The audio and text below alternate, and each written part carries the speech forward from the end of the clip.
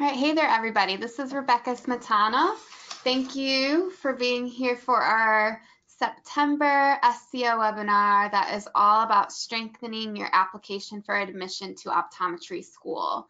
We're going to dive right in head first. I'd like to introduce Mike Robertson, who is Director of Admissions and Enrollment Services. He has been working here in the admissions office for many years. So he knows all the ins and outs of the application process. He is heavily involved in making decisions in regards to who gets interview invitations here and is here for all the interviews we host on campus. So needless to say, very, very knowledgeable about this topic and we'll be able to give you a lot of really great information. So we'll go through some information, of course, along the way. Feel free to plop in whatever questions you have into the webinar system. There is a chat box and a question and answer box that I'll keep an eye on. And if we don't get to your question as we go, we'll make sure to get to it at the end. Without any further ado, I'm going to turn it over to Mike. Good afternoon, everyone. Thank you for joining us, and I hope this uh, will be informative and helpful. And some of it's going to be a repeat, I'm sure, of what you've heard before, but I think it's it's it's worth uh, repeating uh, to give you the insight that uh, you need in order to uh, become a, uh, a better applicant. So the first thing we've got up is, is just some common questions. So I'm gonna I'm gonna go through those a little quickly, and we'll expand upon some of them uh, as we go through the, the presentation. Uh, so what do we look for in applicants and what things are important? Well, I'm going to tell you uh, what I told a panel of students one time at a seminar, and that is the OAT and the GPA are top priority. Uh, schools will tell you sometimes they look at the entire applicant, which we do, but I don't think there's a, a school out there, a health profession school out there that has said, okay, we're going to take a 1.8 uh, applicant because they uh, participated a lot in extracurricular activities or they worked or whatever. So your OAT and GPA are always going to be important. Now, with that said, your background, extracurricular, shadowing especially, those are also very important. You can't live life in a vacuum, so we don't do that in the admissions process. But if you don't have a, a, a, good GPA or a good OAT to balance a lower GPA, then it's going to be tough. So those are the two biggest things that we look at. And then from that point forward, we look at your entire application. Uh, to say what's more important, the OAT or the GPA, it's hard to say, but I can tell you this, we have some unwritten uh, bottom lines at SCO. For an OAT, it's been many, many years since we've interviewed anyone with an OAT below 300. not saying that we won't at some point, but the 300 is the 50th percentile, and we just haven't dipped below that in 20 years or more.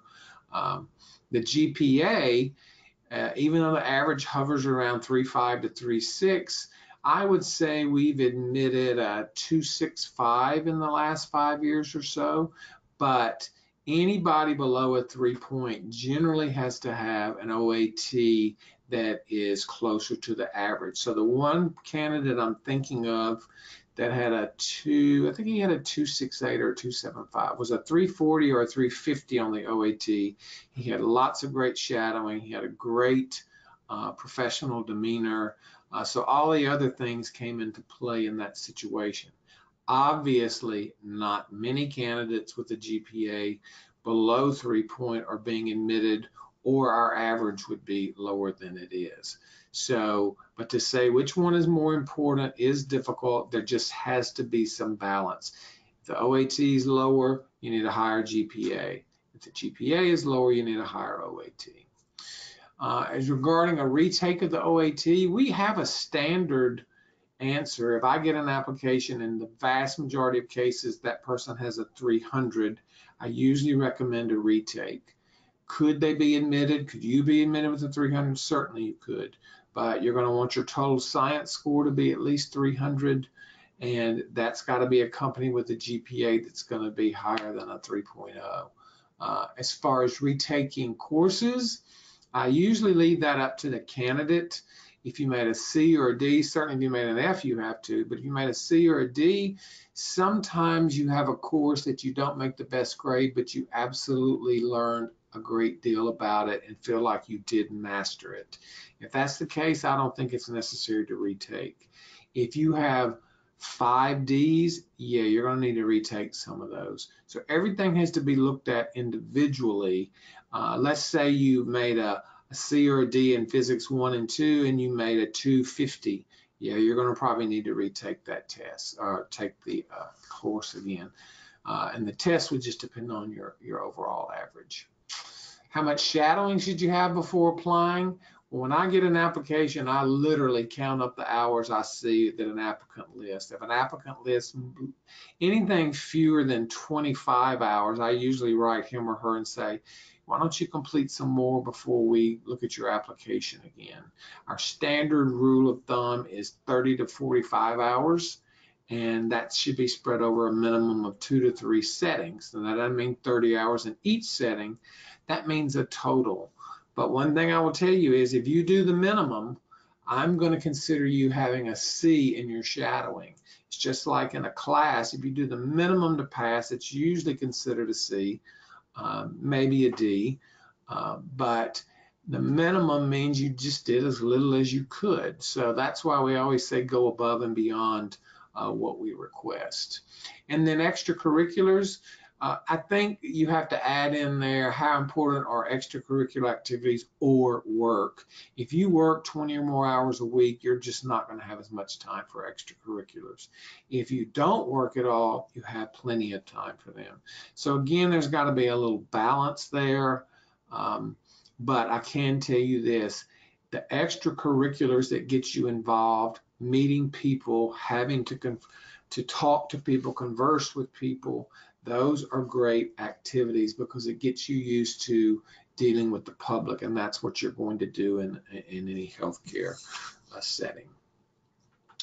As far as the application process, uh, the OAT, most people are applying between the end of their junior year and the, and the beginning of their senior year. And for most people, that is the summer in between those two. And that's when we recommend taking the OAT. By that point, you should have had all the prereqs that are going to be on the test. Remember, biochem and micro are not on the OAT. So you could take those in your senior year. But if you've had all of the prerequisites, the physics, the gen chems, the organic, etc., taking that test late spring or during the summer uh, between junior and senior year should give you plenty of time to prepare and then Let's just say you don't make a great score, it gives you time for a retake.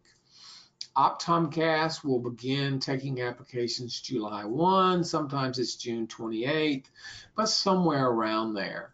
Uh, a couple of keys about that process. One, do not send any transcripts until you have initiated a file. If they get a transcript before your file is initiated, they literally will shred it and get rid of it. So wait until you open up that uh, application, then you can request, and you must have a transcript from every college for which you have received credit. So that means if you took dual enrollment courses in high school or you uh, took a course in the summer at a community college, they must have that original transcript. Um, the other thing that goes along with that transcript uh, is OptomCAS will offer you an opportunity to use, I believe they call it professional transcript entry. Do not use it. Um, they want, I don't know how much it costs, 60 $70. And what they're going to do is do what you could do probably in half the time. They're going to enter your own, your coursework, whereas if you enter it, you're going to get it done quicker. They're going to wait and put you in line behind whoever was in front of you. That can sometimes take weeks. Whereas if you get copies of your transcripts, put them in front of you, simply enter the information. It, it can't take more than a couple of hours, I would think, at the most, you know, give or take. Uh, for the letters of reference, same thing, don't have those letters sent before you open a file. In fact, when you open the file, there will be a spot for you to indicate who you will have sending letters of reference. You will have to give an email address. So my advice is to contact whoever you're going to have send references. Let them know they're going to get an email requesting an electronic submission of a, a reference letter.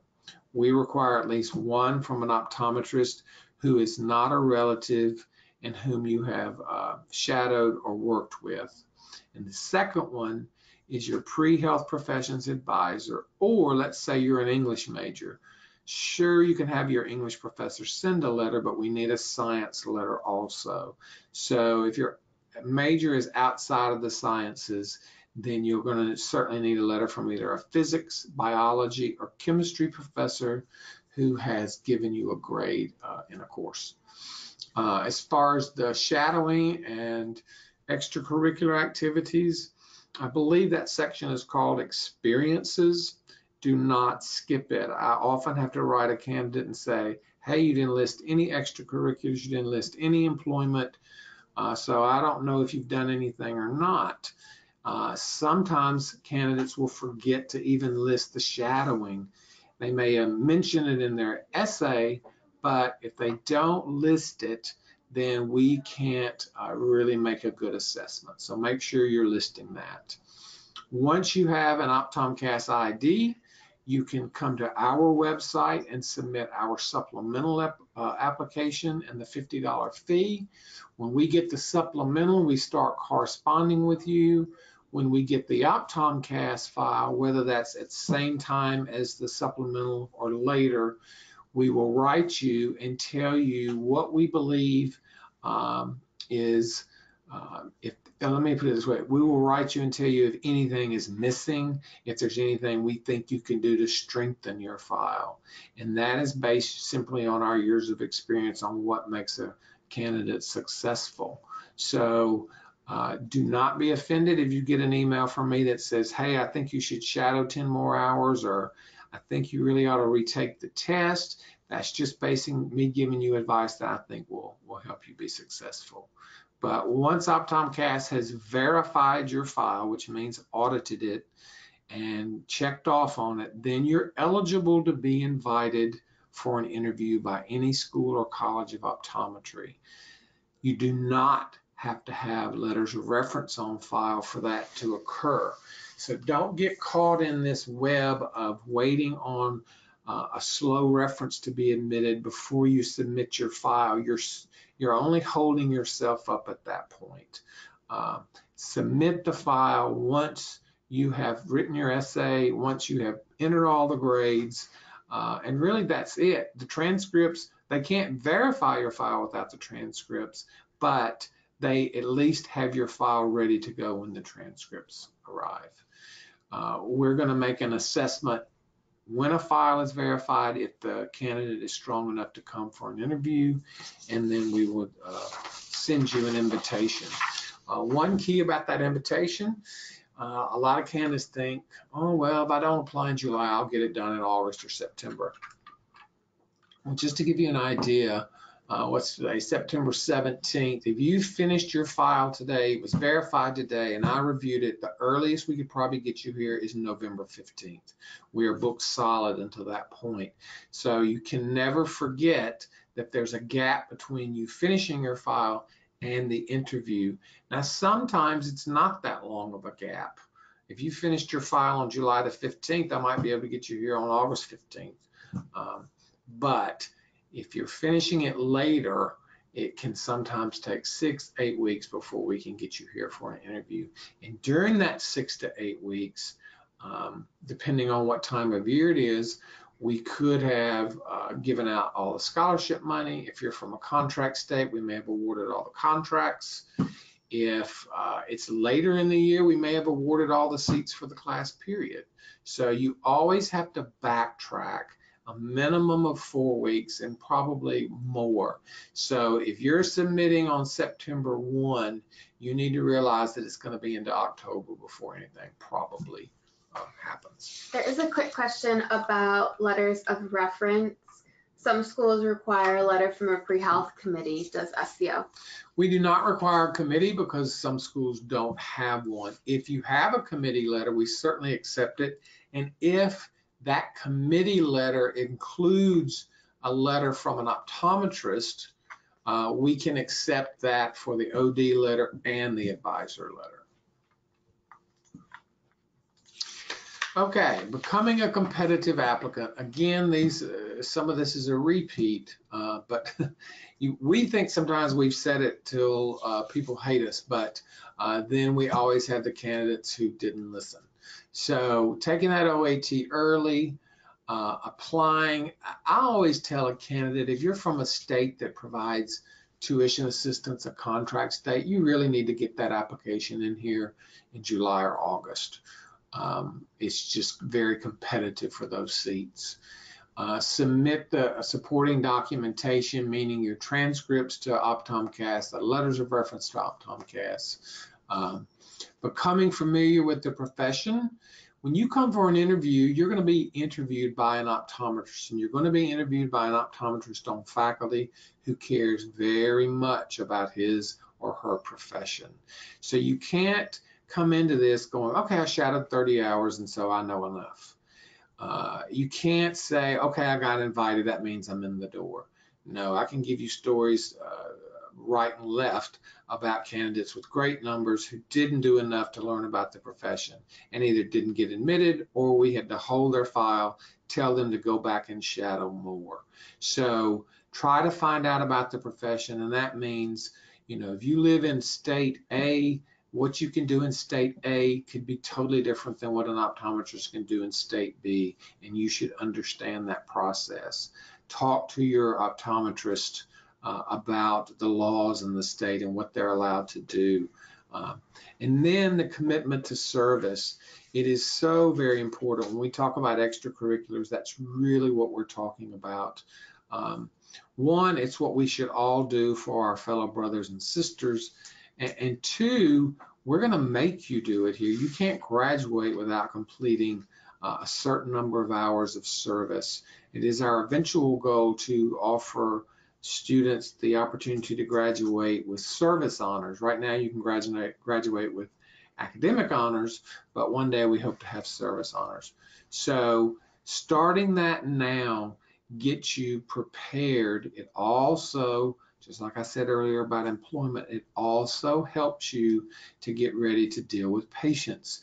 Uh, this may come as a shock to a lot of candidates, but all your patients are not going to be uh, strictly uh, average, normal people.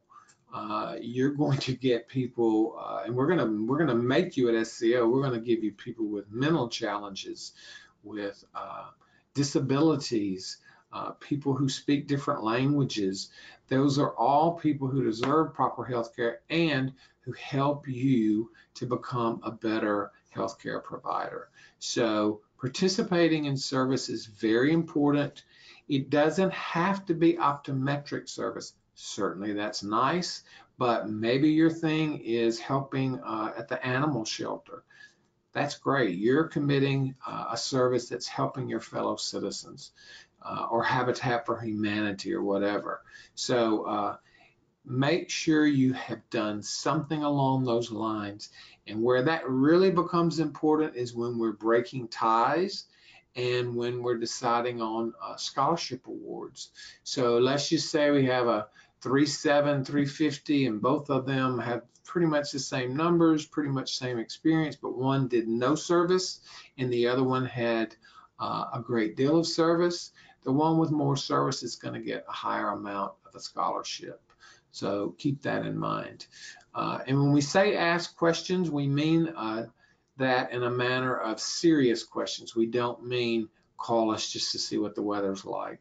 We mean when you don't know which course to take or you're unsure about uh, the total number of practices you should shadow, uh, you don't know a timeline, those are things you must ask us because what we tell you can uh, end up uh, saving you uh, money uh, or help get you a seat uh, in the class. There's a, just an idea of what this class that just started a few weeks ago, what they look like. You will see that we have increased our GPA average and OAT average to school records. Generally, the GPA is around a 3.5. Uh, we went over that this year, and generally the OAT is around 330, and you see it went up. Uh, no candidates in this class are coming in without a bachelor's degree or higher. You can apply uh, after your sophomore year and enroll after your junior year if you have uh, the numbers in the file that uh, sustain that. And when I say the numbers, you're looking at them right now. If you try to be admitted with a 3.2 and a 320, it's probably not going to happen.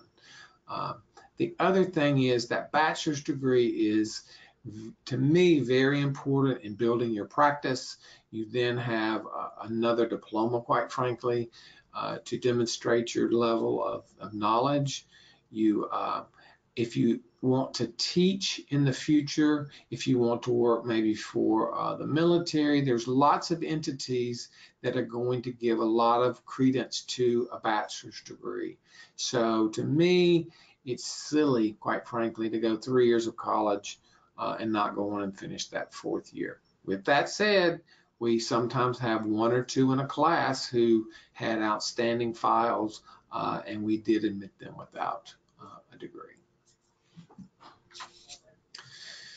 Okay, there it is one more time.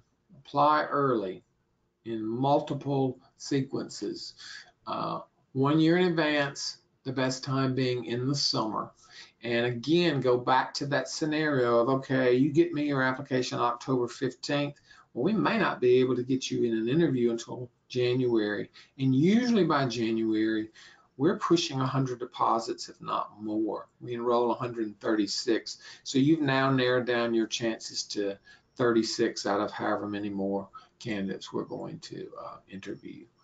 Um, the uh, the timeline is pretty much accurate. You know, sometimes things are not going to fall exactly like that.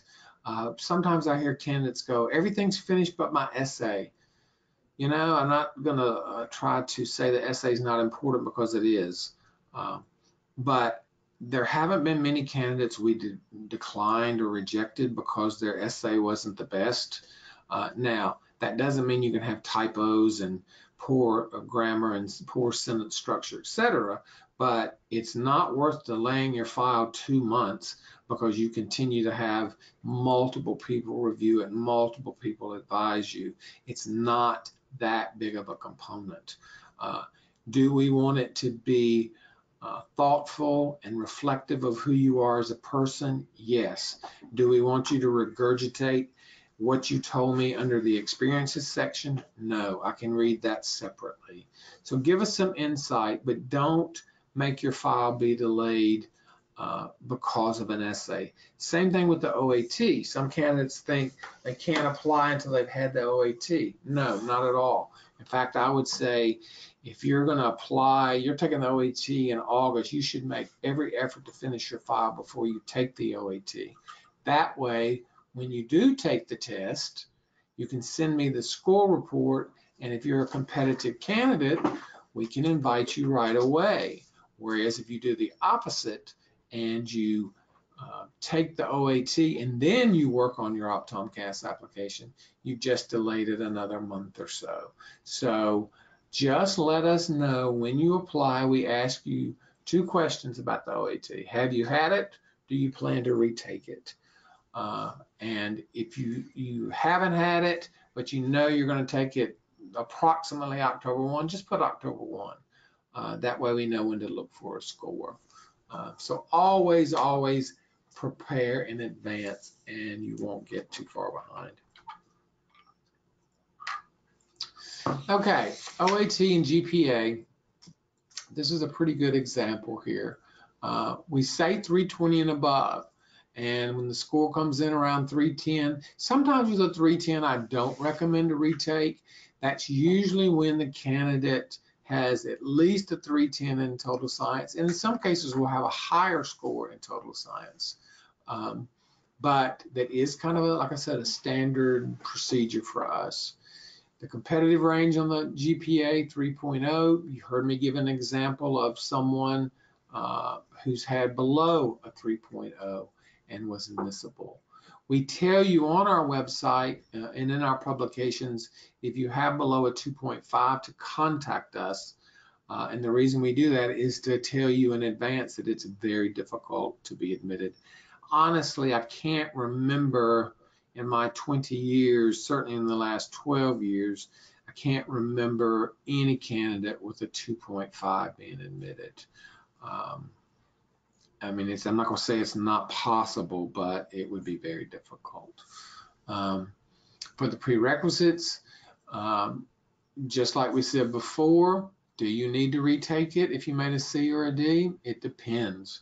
Uh, a lot of things, quote, depend in the application process.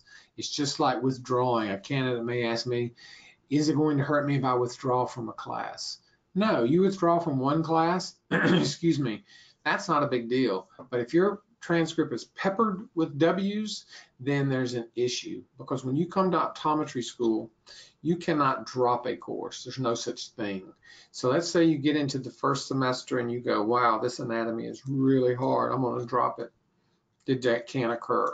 Uh, you have to finish that course. If you fail it, then you go before a committee to determine uh, if you're allowed to stay in school but there is no dropping of a course uh, at the professional school level. So in undergrad, if we see that you've done that multiple times, then we're worried that there's a pattern going on that you just simply get overloaded, can't pass a course, and you get out of it. So W's can be uh, bad. Uh, some, and I don't mean when you have a family emergency and you have to withdraw from school. That's not what I'm referring to. I'm talking about multiple semesters of dropping a course.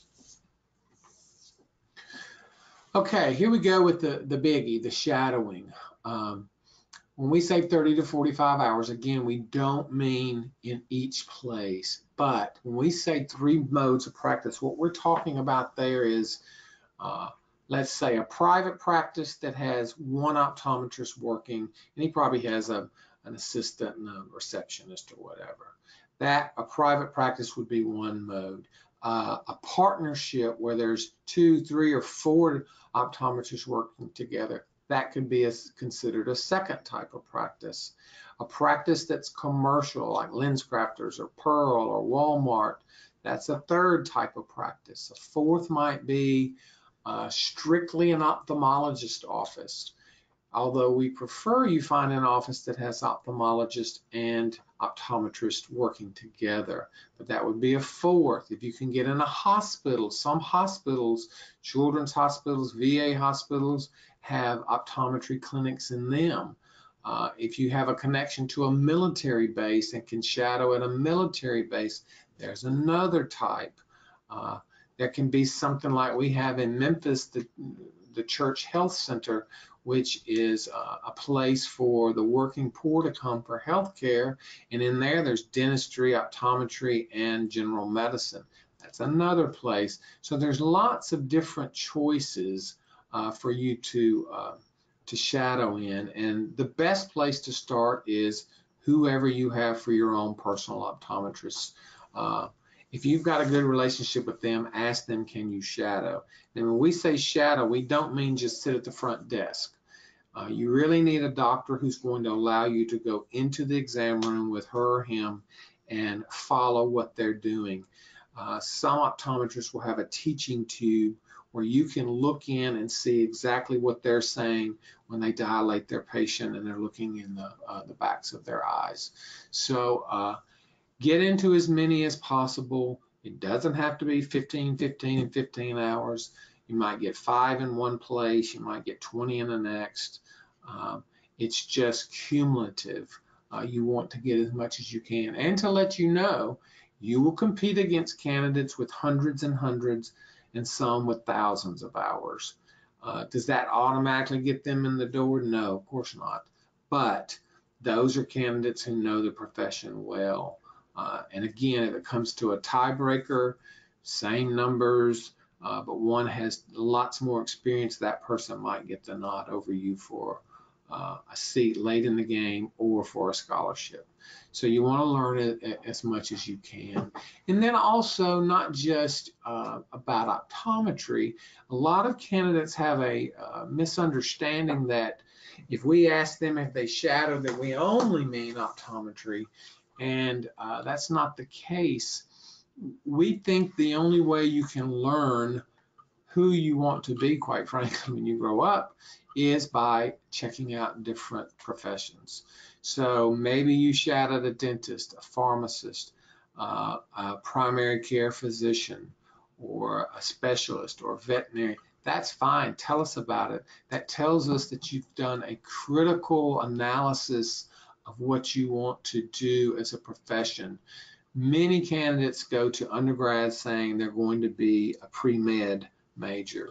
Uh, and if you're a quote pre-med major, you know for a fact that that changes for, I would dare guess, at least half of those candidates. So uh, it's there's nothing wrong with shadowing in multiple professions and then deciding that optometry is the one that you uh, want to, to choose. Um, and then there's always uh, learning more about healthcare and the process. For example, when the previous administration uh, passed um, uh, what was commonly became known as Obamacare, uh, optometrists everywhere benefited from that legislation. Uh, optometry not being allowed to to do certain things, to sit on certain government panels. All of that went away. So you always have to be uh, cognizant of what a legislature uh, state or federal it has in the in the works. Uh, there are now five states where you can perform uh, laser procedures as an optometrist, and there are many states, including Tennessee, who are considering that. And that is a um, a pretty big deal because it opens up another avenue for you as a healthcare provider uh, to offer services that previously were not uh, offered. So keep up with what's going on uh, locally, state-wise, uh, and federally. Okay, there's the uh, everything else category, if you will. And one thing I'd like to uh, point out is we find that uh, people who worked 20 or more hours a week and those who are athletes often make really good students. And that's because they've had to juggle so much when you come to optometry school, you're basically in classes or labs and clinic uh, 8 to 5. And some undergrads go to class 8 to 12 and then do nothing the rest of the day. So quite frankly, it, it kind of makes you become a little lazier in many cases. Whereas if you work half a day and you're in class half a day, you're going to be much more conscientious about your time management and you're probably going to get a lot more done. Um, is there a guarantee that if you work X number of hours, you'll get a seat and be successful? No, of course not. But it is a there is a lot to do with time management skills that make you successful uh, as a student, and that's on any level. One thing I've learned is when you get to, to the professional school level, 30 minutes is 30 minutes. I think in undergrad, there's often a feeling of only I only have 30 minutes, so I'm not going to do X. Study, I'm not going to uh, run, I'm not going to uh, do some service, but you're missing out on a lot in those 30 minutes. You can accomplish a great deal, uh, and, and you double that and go to an hour. Uh, there, there's tons you can accomplish. And it's it's really the students here that have taught me that. And I give this example often, and it may sound a little uh, crude and rudimentary, but uh, I saw a, can, uh, a student sitting in the lobby once, and she had a huge key ring, I mean a big key ring, and she had made uh, flashcards, punched holes in them, and had them all around that ring. And as she sat in our lobby waiting to go to a meeting, she probably had no more than 10 or 15 minutes, but she was reviewing those cards. And it struck me that she had figured out how to manage her time, that 10 or 15 minutes don't have to be spent on Facebook or Twitter or some other electronic form. Uh, they can be fine tuning that concept you didn't understand in class. They can be helping out a fellow student or a fellow citizen. So don't ever overlook uh, time because we know students who have accomplished uh, so much that when a student tells us, quote, they didn't have time to shadow even though we recommended it two months ago. And then I know a candidate who works 40 hours a week, managed to shadow twice as much as the one who uh, doesn't work. The story just doesn't hold up.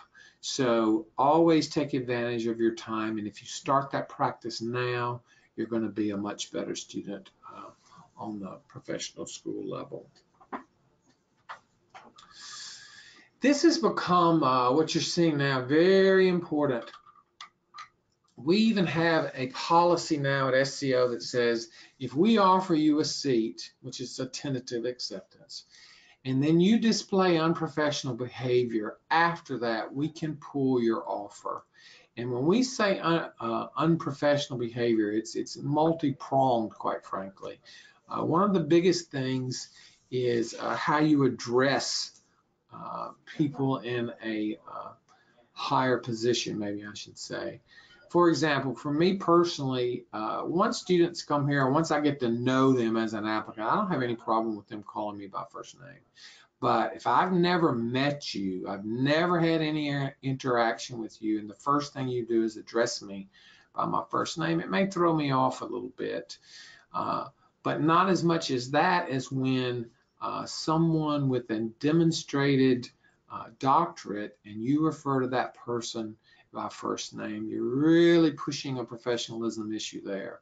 And we've had candidates who interviewed, referred to their interviewer by first name, who we've sent information via email from uh, a, a professor or an administrator, and it clearly indicates they have one or two doctorates and the candidate writes back using first name, it's just a lack of respect is what that is. And lack of respect is not going to do you any good because let me tell you, we keep notes on everything. So if you have been unprofessional in communication or correspondence when you came to visit, when we went to visit you, we're probably going to watch that very carefully and make a note of it.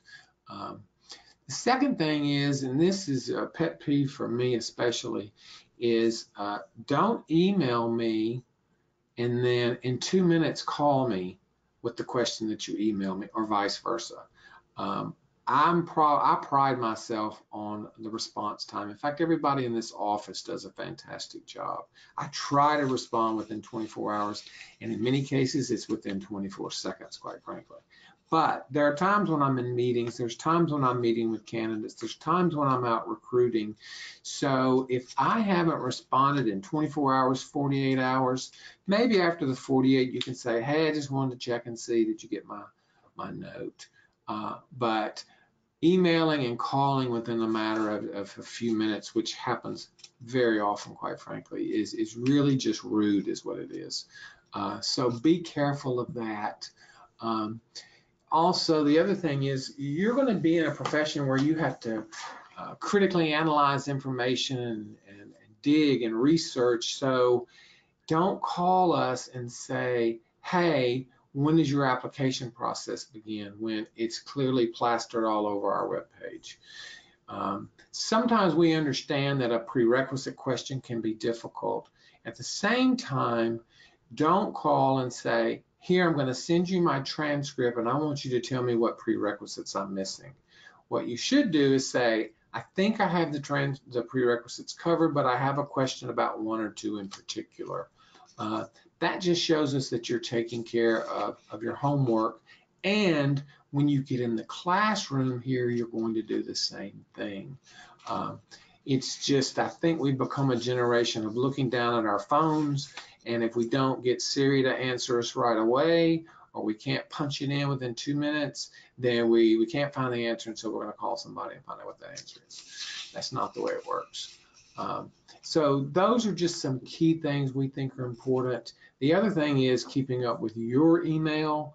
Uh, I send invitations uh, for interviews by email. I send tons of information by email.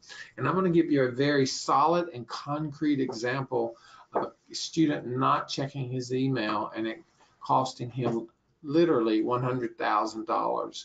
And it was a student who graduated a few years ago, loved him to death, great student, was a great candidate. But in order for him to receive money from the state that he was from, he had to fill out paperwork. And I emailed him numerous times reminding him of the deadline until the point that the state contacted me and said, we can no longer wait. We are awarding this seat to someone else. He literally lost $100,000 in free money because he did not check his email. Uh, and we have students who do that here. That's the, the most extreme example, but uh, there have been other ones who've lost lesser amounts of money uh, because they didn't follow up and just simply click on an email account. So always check, check your spam. We know that information we send sometimes gets filtered. Um, often I will send two emails back to back and a candidate will let me know they got the second one, but they are confused because they didn't get the first one. And uh, nine times out of 10, that went to their spam for some reason. So just be aware uh, that communication is uh, being sent out and that you need to keep up with it. All right, so that brings us to the end of the presentation. Thanks to Mr. Robertson for all the information passed along. We will open it up for questions, so feel free to type into the question box anything that's on your mind. As you do that, I want to plug an upcoming event in October which is the ASCO virtual fair. ASCO stands for the Association for Schools and Colleges of Optometry, and they do a lot in partnership with those 23 schools to get information out to you all about your options um, for optometry school, all the things you need to do to get there, so on and so forth. And the ASCO virtual fair is one of my favorite things basically they invite can not candidates they invite representatives from all of the schools to come together in a virtual platform and answer your questions. So it's a chat room and you can see the transcript of all the other questions asked. Each school designates the chat hours they want to sit for. And so if they're there all day and a student pops on in the morning and asks a question, you log on in the afternoon, you can see that question and the response. So it's really helpful, even if you don't have your own questions, to read those that others have asked. And of course, you have all of the school representative, representatives there on the same day. You can really learn and get a lot out of that. So um, I'll be sending a follow up to this presentation and I'll be sure to include the link you need to register in advance of the virtual fair. It is on Thursday, October 17th is the date. So again, I will send more information out about that.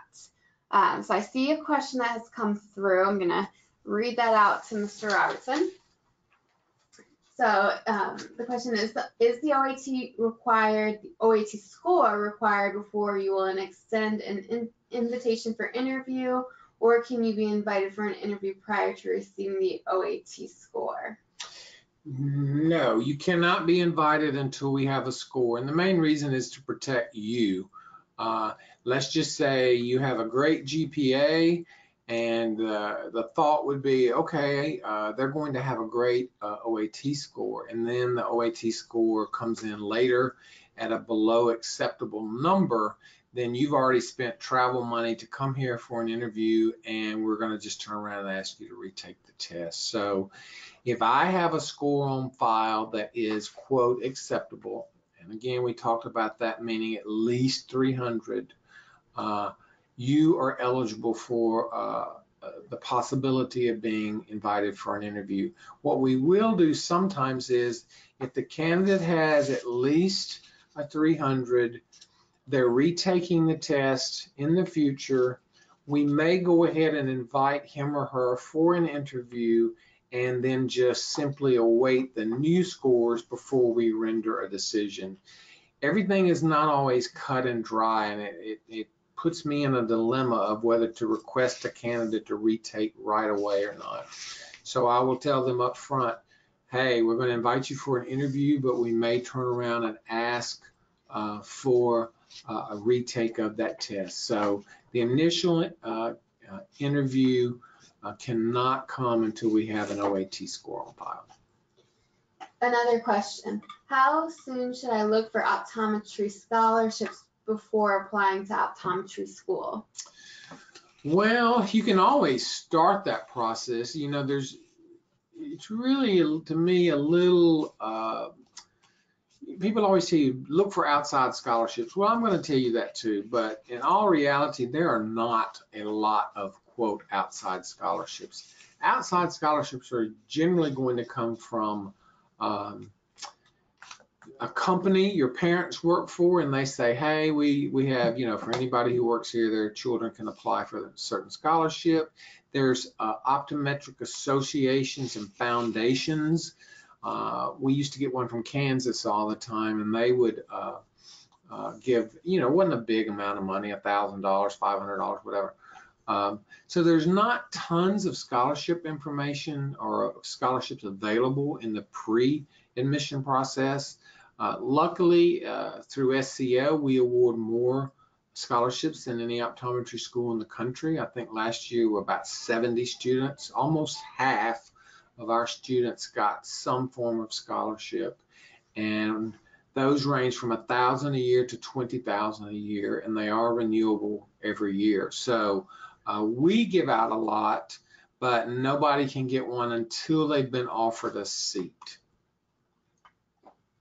This question says, I'm planning to take the OAT in December of 2019 and hoping to be admitted for the class of 2020. Is this cutting it too close?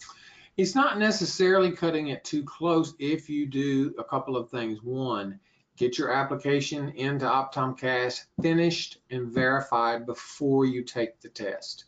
That way, again, all you've got to do is send me a copy of the test scores. What I tell most candidates is if you can take the test by January 15th, you've got a pretty good chance of, of being considered for 2020. If you take the test on March 1st, the last day, it's going to be really difficult. And again, that January 15th goes back to the rest of your file being complete and ready to go. Um, the one thing you have to keep in mind is uh, our deadline for the OAT is indeed March 1. If you take the OAT on December the 2nd, it is impossible for you to retake the test prior to our deadline because there's a 90 day waiting period in between tests. So by taking the test after December 1, as long as you understand it's an all or none situation, in other words, if that test score comes back non-competitive, you're going to be waiting until the next cycle uh, to apply. And there's nothing wrong with that. We don't hold it against anyone for reapplying. I literally just invited a girl today, uh, a young lady who uh, didn't make it in last year, but she retook the test, uh, performed much better, and we're inviting her back. So there's nothing wrong with the reapplication. It's just you need to understand that you're you're going to be limited uh, by taking it after December 1. This question says, does it matter where we completed our undergraduate degree? Does one university mean more? No, uh, despite what Rebecca and I think about our alma maters having the best candidates on earth, um, it, it, it, really doesn't. The, the only time I think it comes into play is when it's um, a really really well-renowned academic institutions. So you're getting into the Ivy League, you're getting into the Stanfords, um, the universities of Chicago, etc. Um, and in those cases, it can make a difference in that, uh, you know, a 3.0 from uh, the University of Pennsylvania might be a little better than a 3.0 from your general state university. But is that candidate going to get some major advantage? Not really, because the OAT, that's the great thing about a standardized test. It becomes an equalizer. So it, it, it looks at everybody and says, okay, you went to state university A, you went to state university B, you went to a private school, you went to a small liberal arts school, go take the same test, all four of you, and let's see how you perform on that test. So the OAT always gives you a chance to equalize uh, the playing field.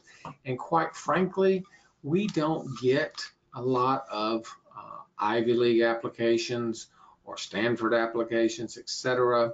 Certainly there are schools we know that are better than others, but again, we're going to rely on that OAT. This question says, is it better idea to take the OAT while currently enrolled in a few prerequisite courses like physics, organic chemistry, etc., so that you can retake if need be, or is it better to take it once all prereqs are completed and potentially miss out on the opportunity to retake it?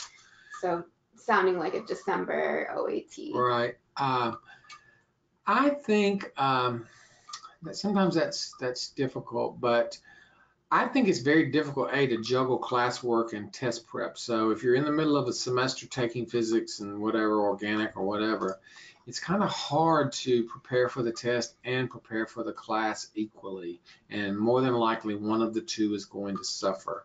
So for example, let's say we have somebody who takes the OAT on uh, September the 15th well, technically, they're going to be eligible to retake on December the 15th, but I'm going to contact that person and say, wait until January the 15th, because if they're in school, they can get through the semester, get through exams, and most undergrads now get three to four weeks of, of uh, a break at winter. So I'm going to suggest that you wait and take the test close further along because that gives you more time to prepare. There are uh, some thoughts out there that taking the test very soon after you completed organic or physics that it will help your uh, score and I have no hardcore research to show that. Anecdotally, I have noticed it. I've noticed that candidates who finished organic, say in the spring, then took the OAT, it seems like they make uh, a stronger score uh, in the organic section because it's so familiar. And, speaking of that, one thing, you, a couple things you got to remember is the biology section is going to go all the way back to your freshman level biology courses. So don't think because you took anatomy and physiology and genetics and you did really well that you're going to do well on biology. You have to go all the way back to biology one and two and ecology type questions they're not going to just ask you about uh, healthcare necessarily.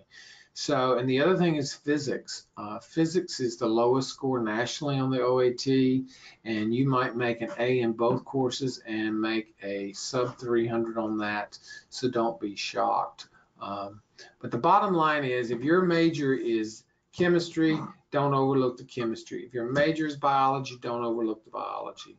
Uh, you always have to go back and do prep work. This question asks, I have prior classes unrelated to my current major and the SCO prerequisites that have lowered my GPA. Is this taken into consideration when you look at the GPA of an applicant? I have prior classes unrelated to my current major and the SCO prerequisites that have lowered my GPA. Well, we're going to look at everything. You know, that's one thing that's for sure. We're going to check uh, prerequisites, non-prerequisites, etc. So it, it really is going to come down to a bottom line of what does that cumulative GPA come back to. And for OptomCAS, they're going to count, if you repeat a course and it's the same exact course that you had uh, in uh, the first attempt. So in other words, you're at State College X and you took Physics 101, you made an F, you repeat it, same school, same course number, they're going to forgive that F. Uh, but if you go to another school and take it, they're going to calculate both of those in there. So sometimes it, it's hard to say without looking at a calculation of the cumulative GPA. Um, but uh, if you get to an individualized question like that, that's one of those we go back to where we said ask questions and contact us and we can give you a, a more definitive answer. So another uh, related question might be how do we look at cumulative GPA versus prerequisite GPA? We give, um, it's hard to say we give more credence to one versus the other, but my thought is the cumulative is more uh, the one we look at harder. But you can't look at anything again in a vacuum. You have to consider both. Uh, I do know that let's say a candidate has a 3.0 overall, but their cumulative is higher. It's a, I mean, their prerequisite is higher and it's a three, four, five. We think that's a good thing. Um, if the prerequisite is lower, is it necessarily bad? It just depends on what the variance is between the two.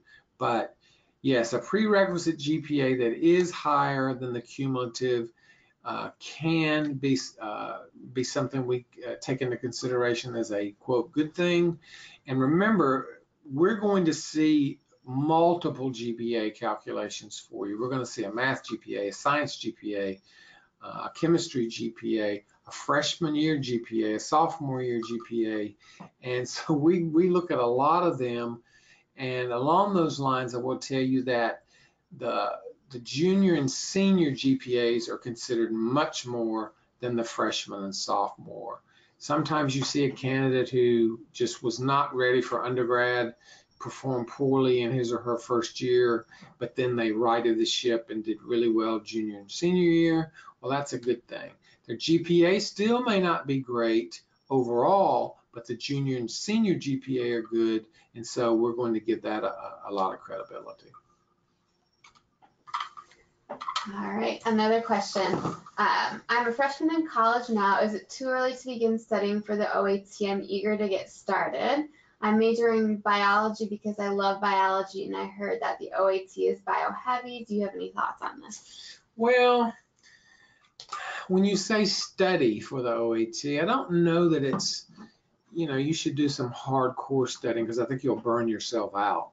But I do think you can get, for example, an OAT study guide, or you can get go online. Um, ASCO has some OAT preparation material and start to see what the content is uh, for the questions.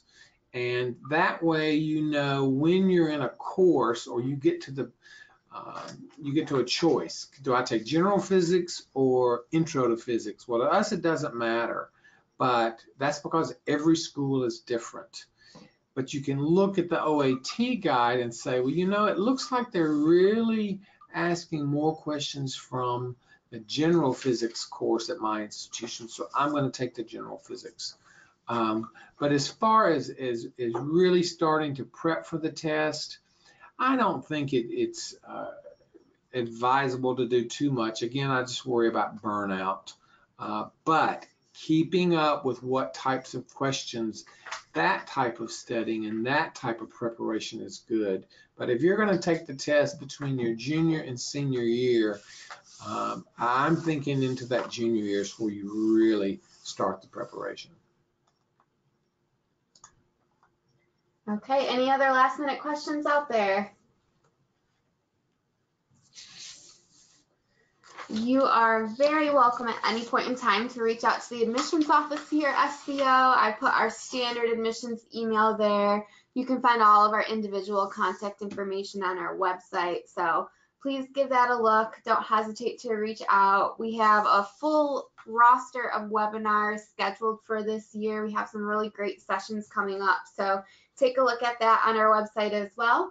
I hope you join us at the ASCO virtual fair. And um, since it doesn't look like we have any other questions, we're going to wrap it up. So thank you all for being here. Hope you have a great afternoon.